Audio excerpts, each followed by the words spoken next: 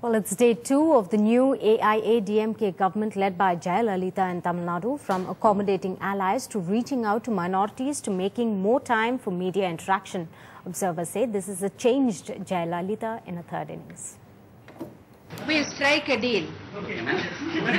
I'll meet you once a week. You should be happy with that. NDTV's cricket app, Android and iPhone. Fastest scorecard, special analysis, and much more. Download free. ndtv.com slash apps.